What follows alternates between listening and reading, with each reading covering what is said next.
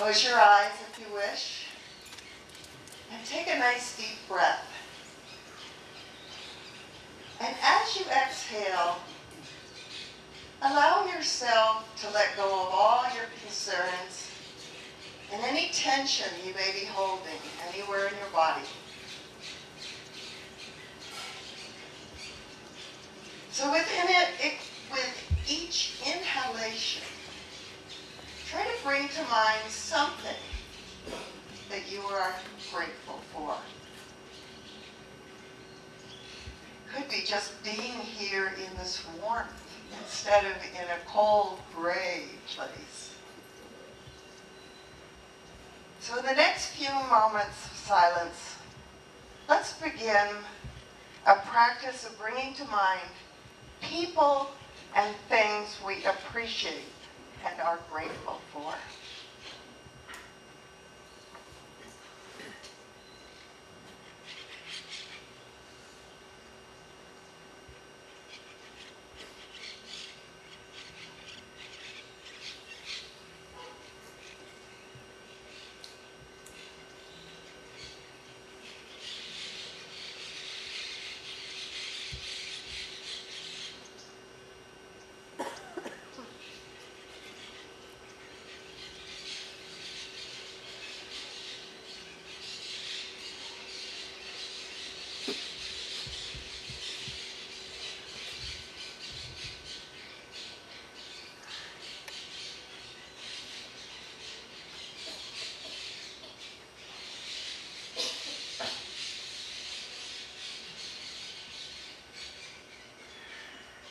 So with the sound of the birds can bring our attention back and realize that a regular practice of appreciation may improve and enrich our lives in countless ways.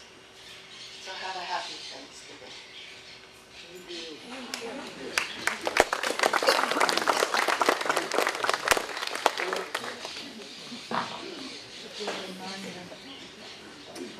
Let's see? Okay.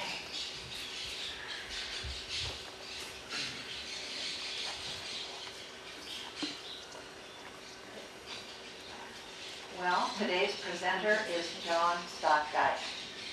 He is interested in what is secular spirituality. And he's going to be talking to us about a book that he loved called Waking Up, A Guide to Spirituality Without Religion.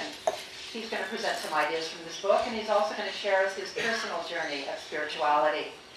He started his life in the Netherlands, grew up in Nova Scotia, he lived his life, his adult life in Alberta, and he is a member of the Lakeside Free Thinkers, where he first heard the term secular Buddhist.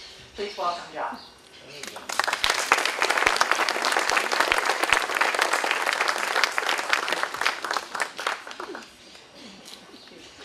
Said you can't wear a tux lakeside, eh?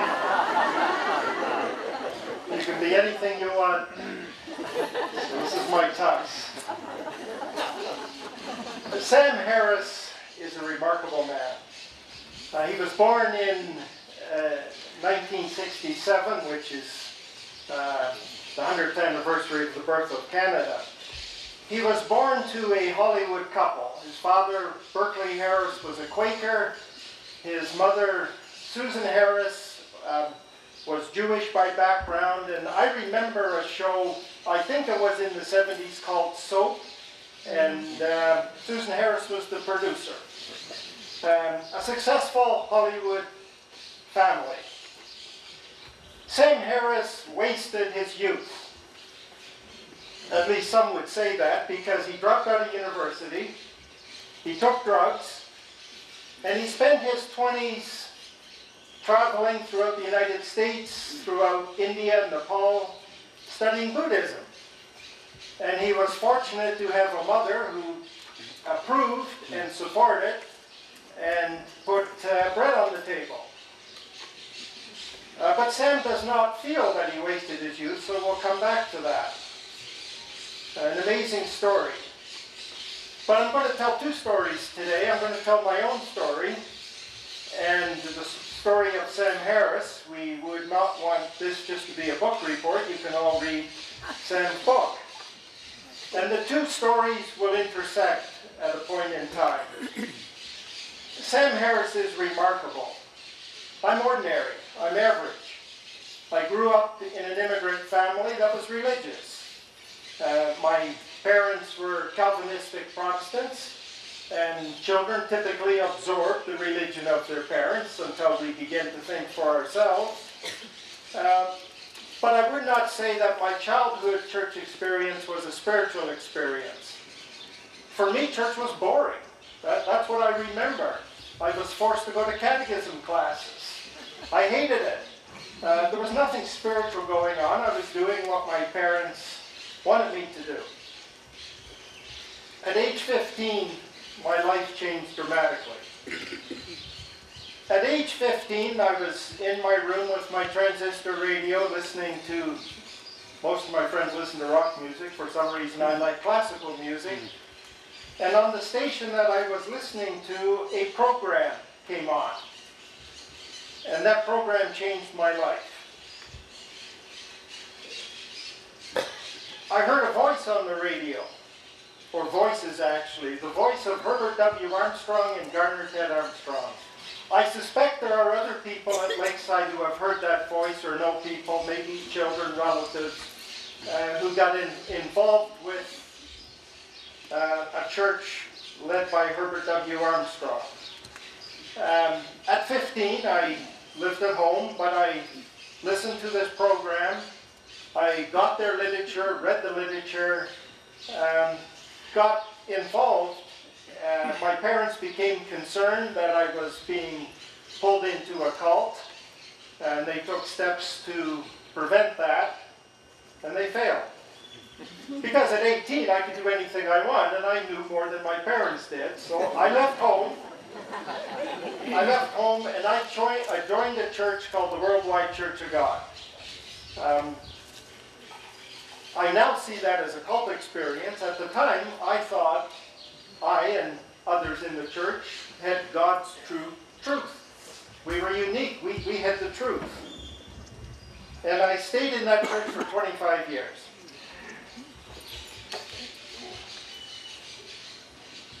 And unlike Sam, I didn't waste my youth because my mother wouldn't support me. I, I, I had to get a career. I became an accountant. Some would say that's wasting your youth, right? You know, accountants are the kind of people that put all their bills with the heads facing the same way.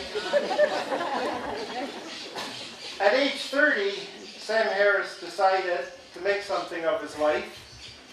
Uh, he went back to Stanford University. You've got to be smart to get into Stanford. And he got a degree in philosophy. And he graduated in the year 2000.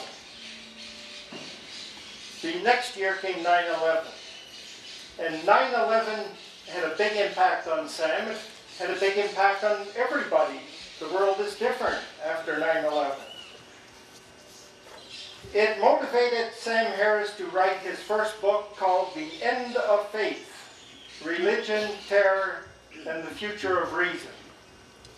It was a big success. Spent time on the New York Times bestseller list.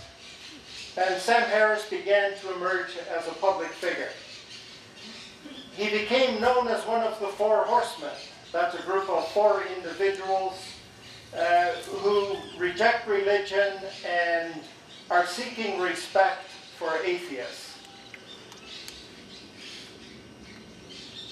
I also made a transition um, after my 25 years in the cult. Things began to happen that led to my exit.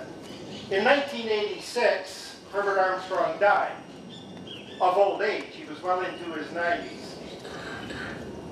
And like many organizations that are built on a personality, on charisma, uh, his organization began to fall apart, began to splinter. Uh, it stopped making sense. There was nothing that was bringing cohesiveness anymore. And in that environment, I began to question. Many people began to question, and uh, many people left or joined other organizations. Um, at that time, I re-examined a number of things in my life. I looked into the question again, does God exist? I came up with a different answer.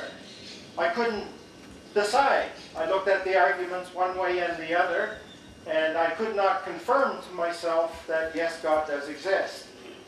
Uh, I couldn't prove it either way and became an agnostic. Uh, I do look back, though, on my years uh, in what I now clearly see as a cult, and I describe it as a net positive experience. That's puzzling to people who uh, seem to make a living out of attacking religion. Uh, and there are cults that are very destructive. I see the Worldwide Church of God more as a benign cult. Uh, very controlling, and in that sense, it's very cult-like. Uh, but it's not in the same league as the destructive cults. A couple that come to mind are Jonestown, Heaven's Gate. Heaven's Gate gives new meaning to uh, keeping up with the Joneses. dark, dark humor. But there are, there are those very destructive cults, but there's lots of organizations that are cults or cultish uh, that are relatively benign. Uh, the reason I say my cult experience uh, was a net benefit in my life because it was a crutch. And it was a crutch at a time I needed a crutch. And better to walk with a crutch than fall flat on your face. True. And, you know, and whatever works for you, right? Uh, uh, and I had some challenges as a young man and finding my way in life. We only get one journey through life, but it's not hard for me to imagine where I would have fallen flat on my face, and who knows how my story would have gone on. So, yes, this organization was a crutch, but a, a, a useful crutch. But at midlife, if you're dragging along a crutch, it's a burden.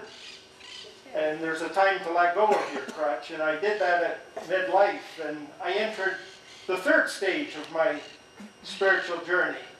First was childhood, Calvinism meant nothing, occult experience, which was a deep experience, but not one that I would say was deeply spiritual. My third stage was, wait for it, nothing. I was done with religion. Uh, I wasn't interested in spirituality. So I, I described that 20 years after midlife to retirement as my, my nothing stage.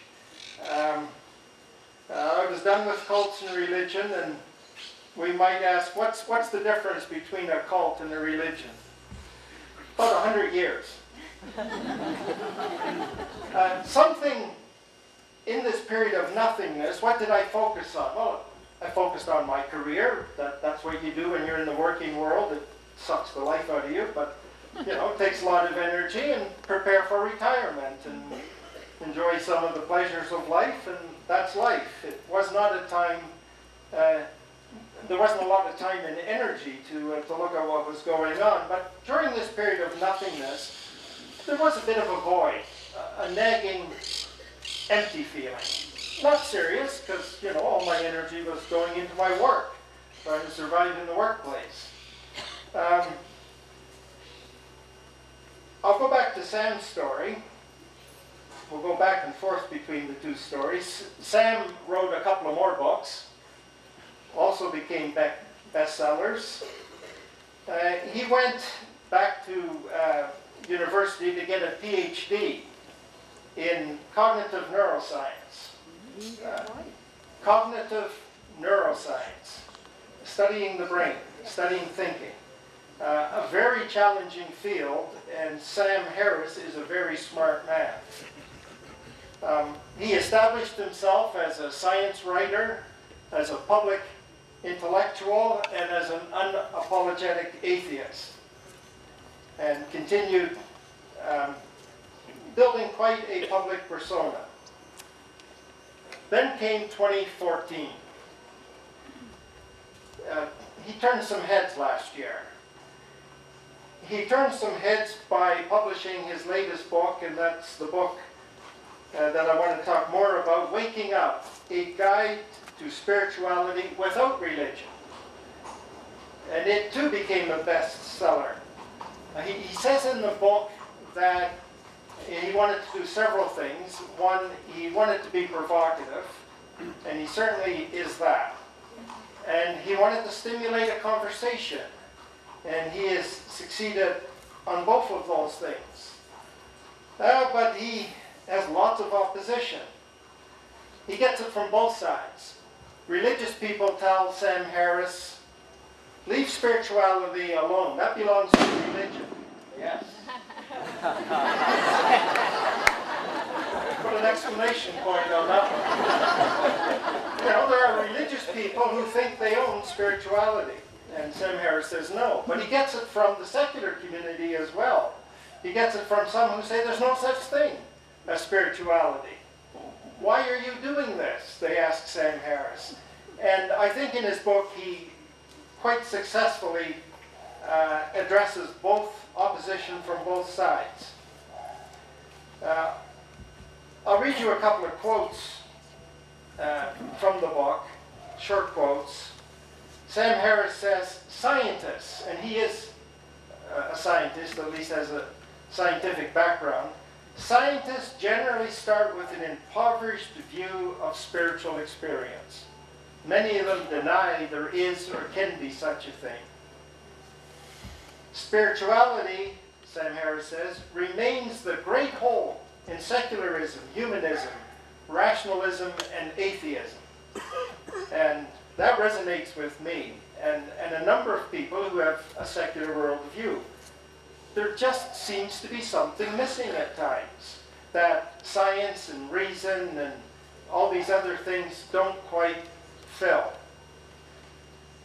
Okay, back to my story. 2012, my wife and I, uh, by the way, I met my wife uh, in the cult that I belong to, so good things come from cult experiences.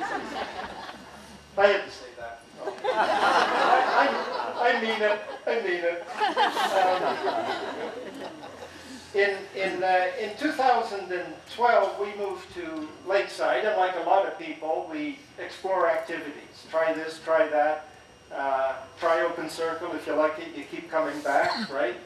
Uh, this is one of our favorite activities. But you try things, and some things you try once and let them go, and some things you stay with. I joined a group called the Lakeside Freethinkers, um, and I'm not going to say much about them except um, one particular meeting last year that somebody said something that just struck me the right way at the right time. And that's where I first heard the phrase secular Buddhism, uh, which a number of the uh, Lakeside Freethinkers are, uh, are quite interested in. And it was about this same time that Sam Harris's book was getting a lot of publicity.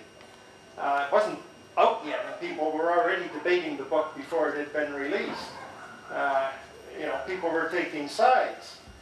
Uh, I bought the book. I bought the book about three months before it was released. You know how you can do that? Technology is marvelous. You buy the Kindle edition, you pay for it. Uh, they have your, your tablet And when the day is released, there's the book on your tablet, automatic, wonderful technology. Uh, so I had it on the day of its release, the uh, electronic version. Um, so just hearing the phrase secular Buddhism struck me and I wanted to explore it and Sam's book came out and he was a well-known figure so uh, I decided to read the book and so I would say last year possibly marks the beginning of stage four of my spiritual journey uh, because nothingness doesn't work for me anymore and I got lots of time now in retirement to think about stuff and uh, where do I want to go in the next 20 years or 30 years if we're lucky? Uh, we don't know. Uh, so I am now exploring what does spirituality mean to me? Uh, uh, and I define it as a secular approach. Uh, even secular Buddhism is a bit too narrow for me at this stage. But I'm just exploring. if you're into self-help, this is called growing by casting yourself adrift. You know, you just want to get out in the ocean and bob around and see what shore you land on because you don't know exactly where a journey can take you. Uh, so I'm, I know I want to go further with this journey. I have no idea where I'm going to end up, but I'm going to explore. I'm going to uh, look at some more of Sam's ideas. Uh, spirituality is one of those terms that has no precise meaning. You, you can't define it. It's kind of a bundle of ideas, uh, and it means different things to different people. Uh, I will read Sam Harris's definition. Sam Harris describes spirituality as the efforts people make through meditation, psychedelics, or other means to fully bring their minds into the present or to induce a non-ordinary state of consciousness. That's his particular definition, and, and Sam has a very interesting attitude towards psychedelic drugs, which he took uh, quite a bit, uh, ecstasy and others. Uh, he now has two, two children, two daughters. He's on the public record. Imagine, most of you are probably parents, you're all children. Imagine a parent saying this to their daughters. Sam Harris hopes his daughters take psychedelic drugs. But this is a man who understands the brain better than most people, the, the organ, the brain. Now, he wants their, his daughters to take it in a responsible manner, in a safe environment, surrounded by people who know what is going on, but he looks back on taking drugs, uh, having a positive impact on his life, and he wants his daughters to have that, uh, that experience. He, he sees his drugs in his 20s, teens and 20s, as a net plus in his life. It's remarkable, particularly for somebody who is an expert on the brain. Uh, that is not going to be part of my spiritual journey. I have no desire to take psychedelic drugs. No problem if people want to go down that road, but that's not for me. The meditation part definitely does interest me. Uh, the science behind meditation grows and grows. People's experience uh, is well documented. Uh, I've become convinced. I'm sorry. Uh, is Lee Carson here today? Lee Carson? Say again. Lee Carson. Lee Carson is here today. Lee Carson. No? No? Okay, thank you. Should have reached for the water. Well, he was Uh, where was I? Uh, meditation. Yes. Um, and there's lots of evidence, but you can only read so many books and so many articles. At some point, you either decide I'm going to try this and learn from my personal experience. There are things you can only learn from personal experience, uh, and it is my intention to to go down that path and see where it takes me. Um, the, the term spirituality is problematic. It, it's one of these terms that pushes buttons and people get all excited. Uh, and it, it causes an us versus them reaction, which kind of is doesn't make sense if you're talking about spirituality to get into it, us versus them. I want to come at it just a little bit different. Um, we know a lot about the human brain, and we know we all have minds. But scientists do not yet know how the brain generates a mind. That is still a mystery. Science may solve that mystery, and they're working very hard on it, but it remains a mystery. Uh, and there's different schools of thought on this. And I certainly don't have all this figured out, and it's not easy to study in this area. But one analogy that I like is think about water. Water. Um, water is reducible to oxygen and hydrogen. Um, so you can, you can change water from one form to the other. Um, but when you reduce water, uh, the water disappears. You have two gases. The liquid is gone and gases. Uh, so you cannot reduce water uh, down to its uh, parts, oxygen and hydrogen, because when you do that, the water is gone. Um, hydrogen. What did I say? Nitrogen? No, it's oxygen and hydrogen. I took chemistry in high school. I'm, I'm sure of that one. Um, I think I'm sure. Be careful. Any H2O, yes. Um, so perhaps, so perhaps our minds are like that. That when you reduce your mind to brain function, and there's a lot of good science in that area, but perhaps the mind cannot be reduced. Perhaps the mind is somehow something non-physical that emerges, uh, and you cannot reduce it back to its physical uh, constituent parts. But uh, the science there is uh, still not at a point where we know these things for certain. But a lot of good research. So you can think of spiritualism as a bit like mentalism, you know, mental activity in the mind. the word mentalism is more problematic than the word spiritualism, so we'll leave that alone. But the idea might, there might be something to that. So there does seem to be some kind of a reality beyond the physical. That, that's kind of the essence of, of spirituality. Okay, so what I have learned from Sam Harris is the importance of mindfulness meditation, him and many others. Another thing I like about what he says is the value of subjective experience. Um, we, we live life by experiencing it. We experience it in our heads. We sort of live in our heads. That's, that's where we think we are, in our brain. It isn't quite that simple, but that's the feeling we have. Uh, what is life without our subjective experience of life?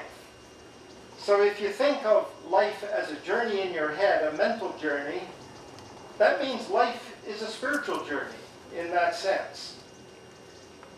Another aspect of spirituality that resonates with me is mystery.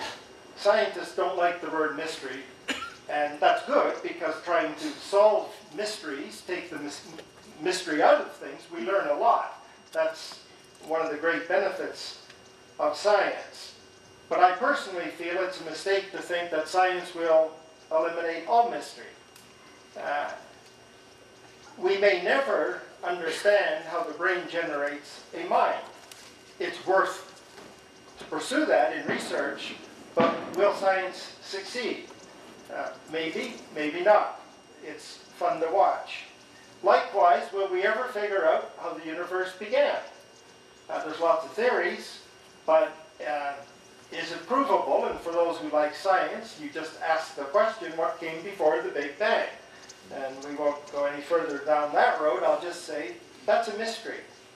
And um, another aspect of spirituality, uh, and it's not the only way, but it's, it's a path for self-help, for changing ourselves. Uh, religion offers that. Uh, there's a number of paths. Uh, so if you're interested in growth and change and in retirement, uh, it's never too late to change. Uh, spirituality seems to be another vehicle to go down that road. Spirituality is about connections between people.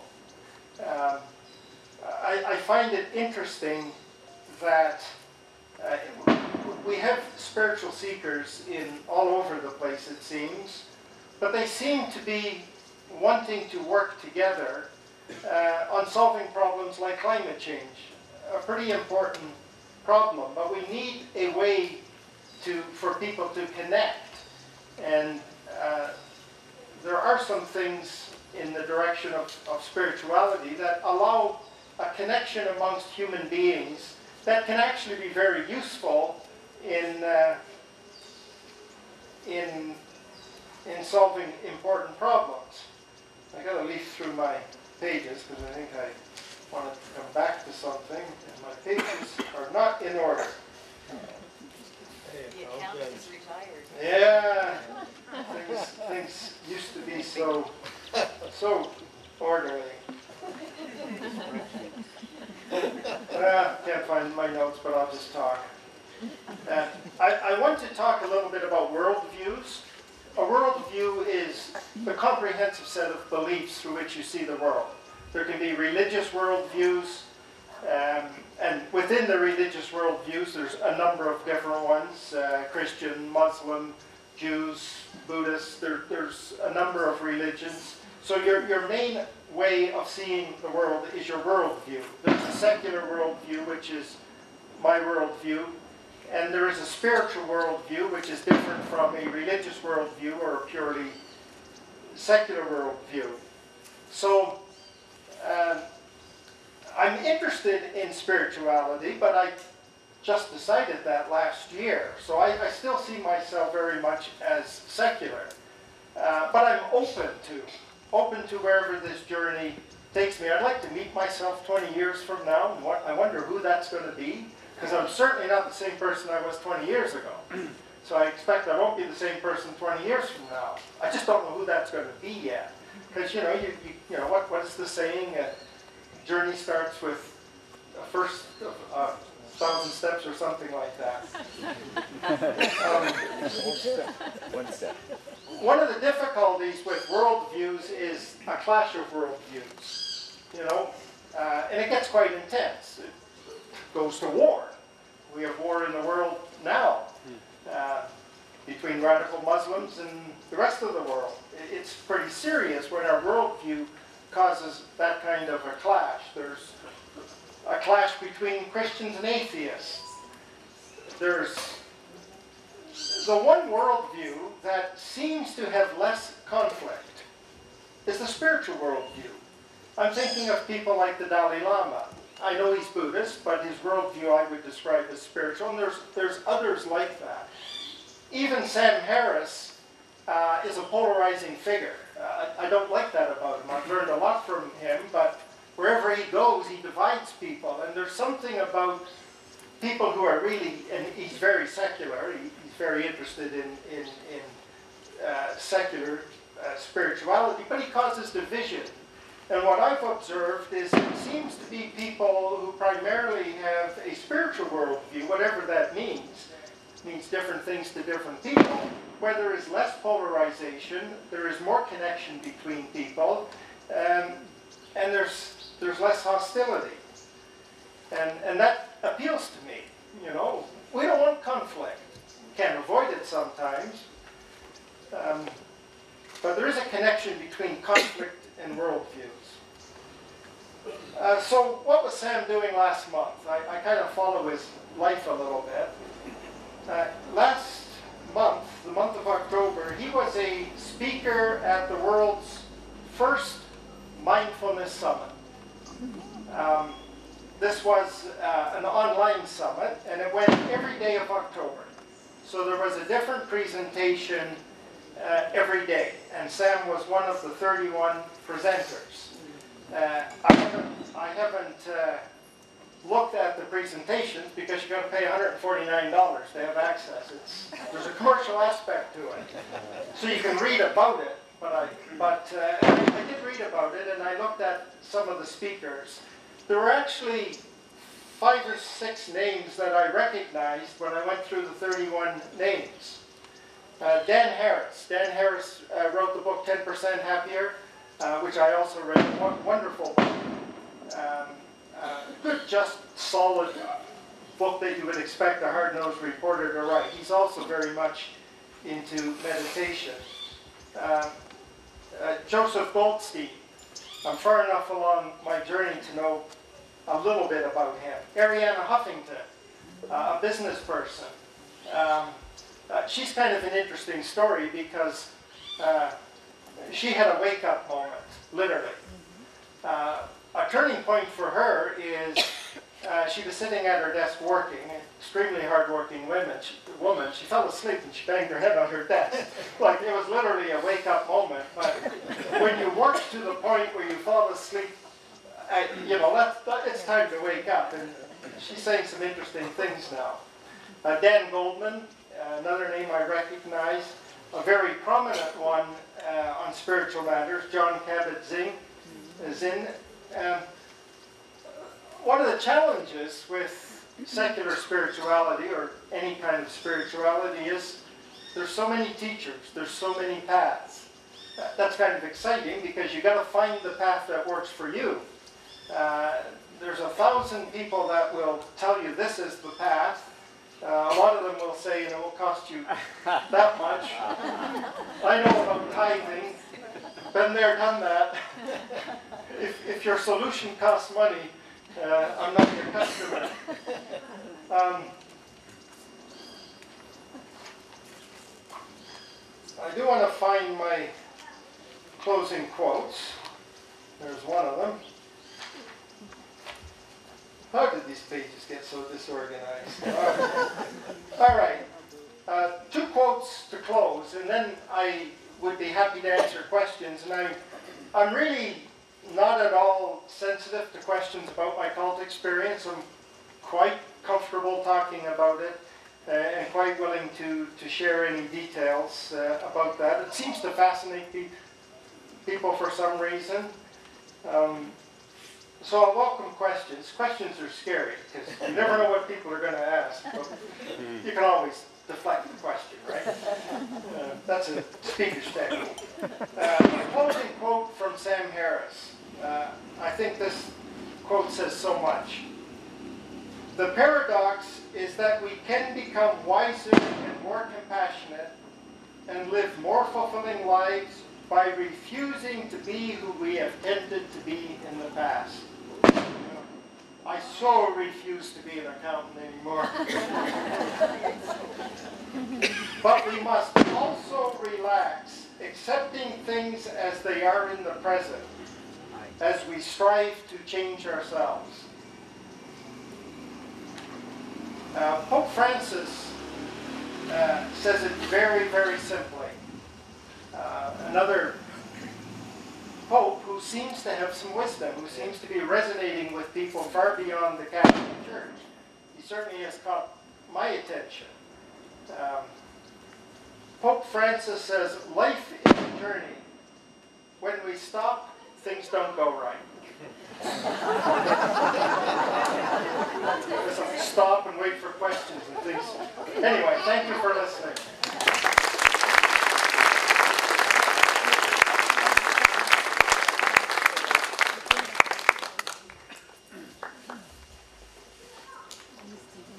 So we're going to take questions, and what I'd like you to do is uh, raise your hand. You can see an example going on right here. Um, And the purpose of the questions is to find out more about what he knows. Um, So if you form your questions asking him something that he can advance our knowledge. Thank you. John, uh, I'm, I'm sorry for the earlier interruption about nitrogen and oxygen. I, and you know, I'm an diver and I was thinking actually of air, uh, uh, which is composed of 21% oxygen and almost 79% nitrogen, which is very heavy sometimes. So sorry about that.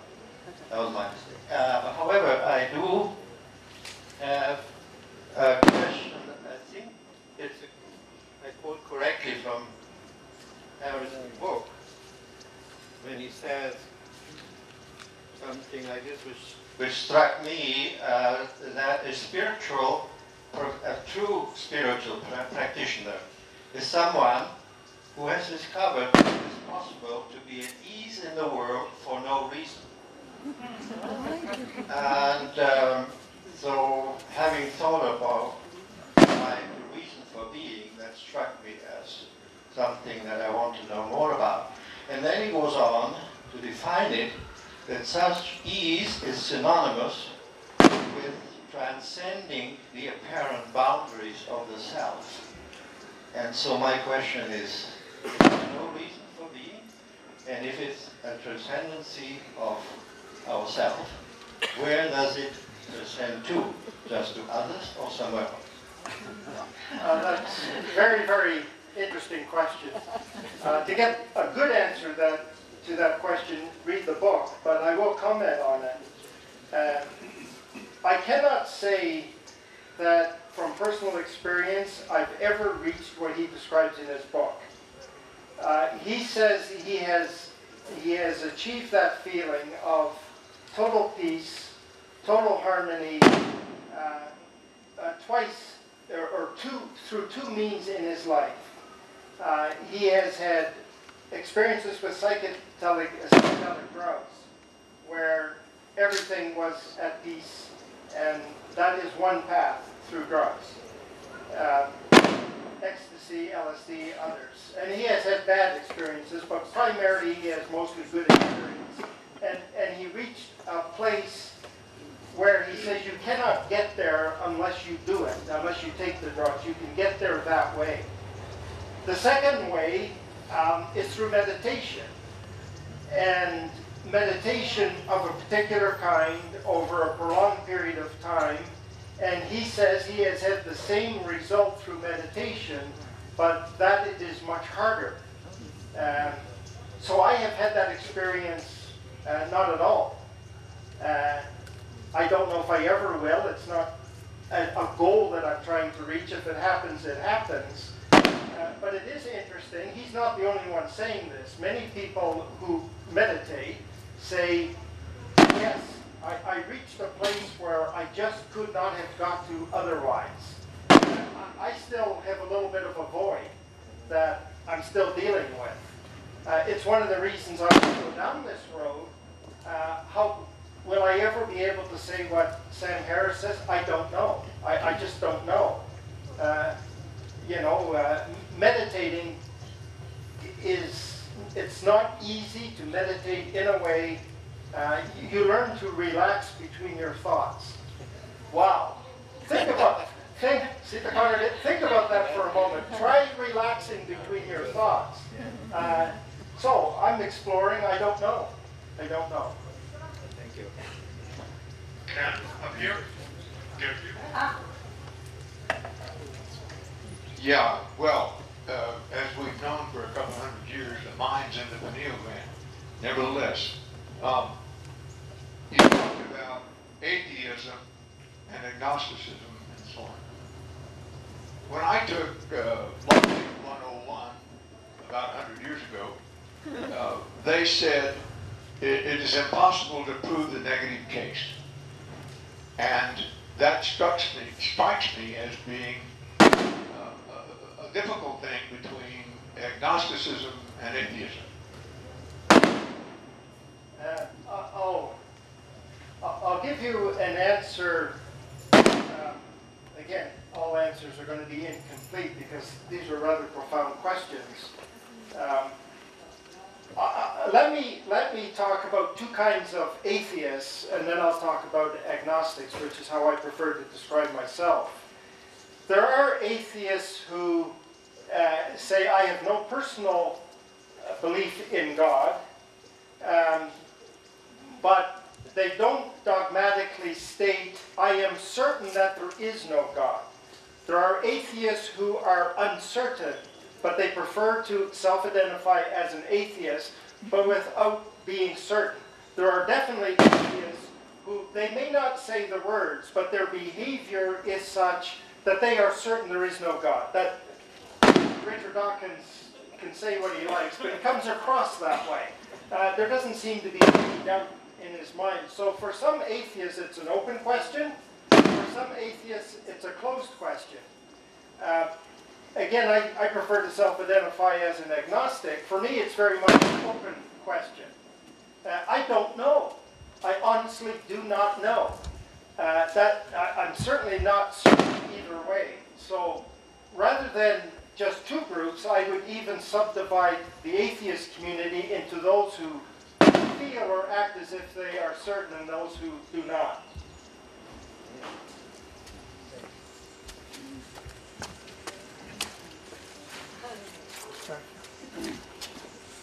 Thank you. I really appreciate your discussion. The word I want to focus on is secular. Because the people, the problem this whole thing, we don't know if there is or not a God, but we do know that there are people who say that secular means that you don't belong to my group. In other words, that's a religious thing. If you're in my group, then you're fine, but if you're not, you're secular. And this is, to me, the biggest problem that we have in this world. The lack of willing, you talk about people coming back and forth together. So, too many people are the only way. And that's why this is such a tragedy. I, I, I completely agree with your comment. Um, if we could only find words that are not divisive. Uh, but how do we, you say, you say the word religion, it divides. You get into politics, it divides. Uh, even within spirituality, there are divisions. My spiritual path is better than your spiritual path. And, and we don't seem to have very many leaders in the world that rise above that. I mean, we won't get into U.S. presidential election politics. Where, where are the people in the world today that are using language that does not divide? They are very hard to find. I find the Dalai Lama is one of those people.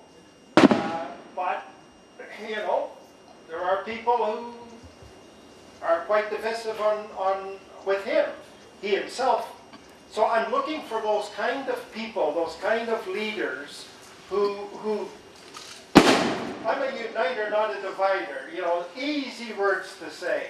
There just are not many people that I observe in the world uh, that, that do that. Uh, and it, I, I agree with you. It is one of the biggest problems the world is facing. We can't agree on anything. and, we, and it gets us into wars.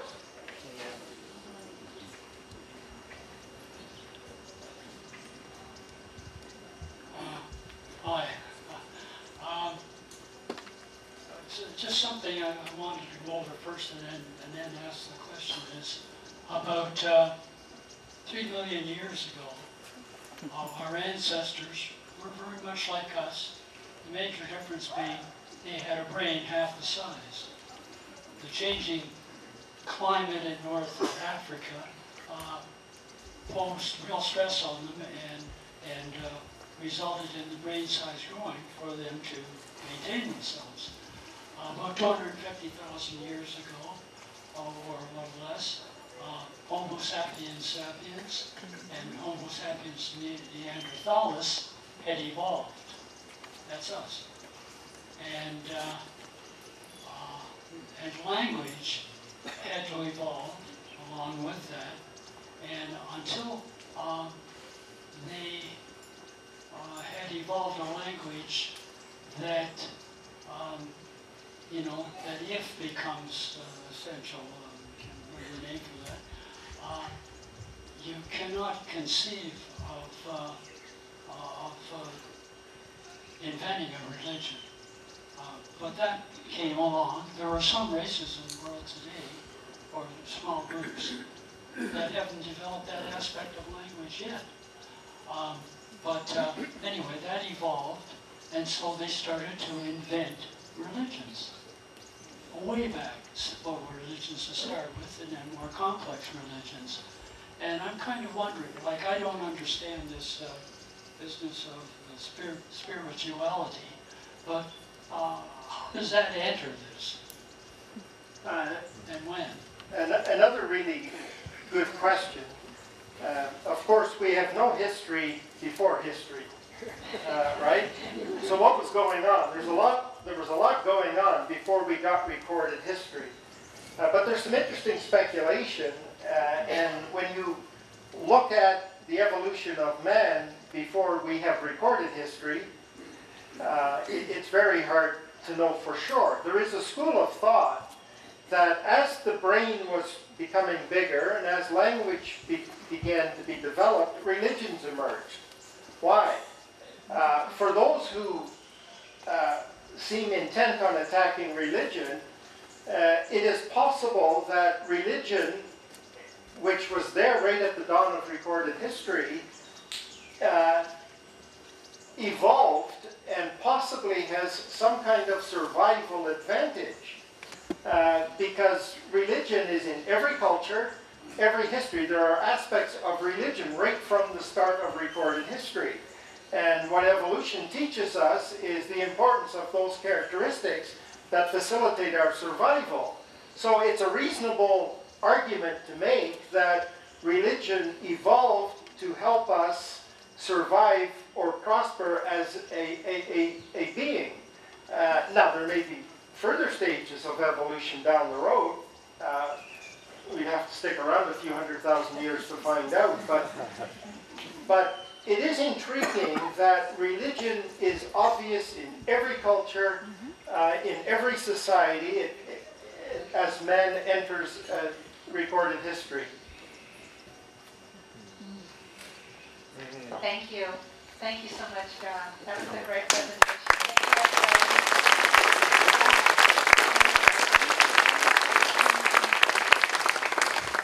I have a couple of announcements.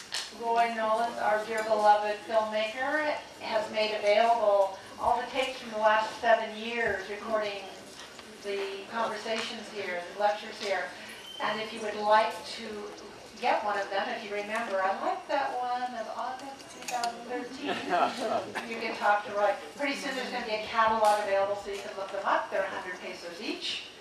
Um, we appreciate that you're leaving your dogs home. We love doggies. It's not an anti-doggy campaign, but I just want to remind you, unless you need a dog as your companion, please leave them home. And I know we all love to talk after open circle and talk and talk and mingle and mingle. And we'd appreciate if you'd start to move it out to the other side of the fence as you can so that everybody can close up here. Please stack your chairs, get your coffee cups, and the 14th. Turn on your phone. Turn on your phone.